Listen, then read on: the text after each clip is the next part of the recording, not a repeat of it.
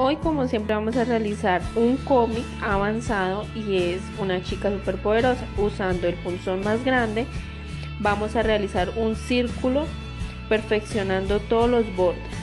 Utilizando el pincel delineador vamos a rellenar el cuerpo con gran cantidad de acrílico cubriendo toda la base. Usamos acrílico blanco y con el pincel delineador realizamos la parte de abajo que serían nuestras piernas de nuestra chica superpoderosa, siempre terminando de bordear correctamente los laterales. Rellenamos con color negro la parte de los zapatos y verificamos que no se nos traspase los colores. Realizamos pequeños círculos a los lados del cuerpo que son nuestros brazos los brazos deben ir correctamente perfeccionados sin traspasarse a los otros acrílicos. Realizamos el pelo de nuestra chica superpoderosa teniendo en cuenta siempre la forma correcta de la figura. Es decir, hacemos nuestros moños que tengan la forma de globo arriba y la caída en punta.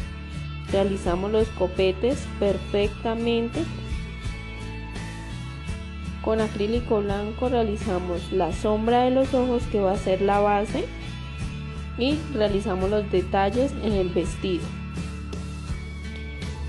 Siempre debemos verificar que a la hora de delinear nuestra base y nuestros colores de relleno estén totalmente secos para con eso no nos van a manchar nuestra decoración. Con la punta del pincel y con poco acrílico cargando y descargando que no se nos vaya a olvidar realizamos los trazos y delineado perfecto. Si queremos un trazo perfecto debemos siempre mandar nuestro pincel en línea recta hasta donde creamos que es posible llegar. Trataremos cada vez de ir perfeccionando más sin tener que hacer los trazos cortos o irlos entre líneas recortados. En este caso el moño lo hice recto y perfeccionamos en pequeñas cantidades realizamos con color azul la parte de nuestros ojos y con otro círculo más pequeño con acrílico negro sin traspasar los colores.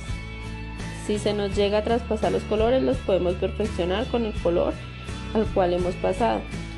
Y con un punzón más pequeño utilizamos acrílico blanco con la punta de nuestro pincel nuestra boca y hemos terminado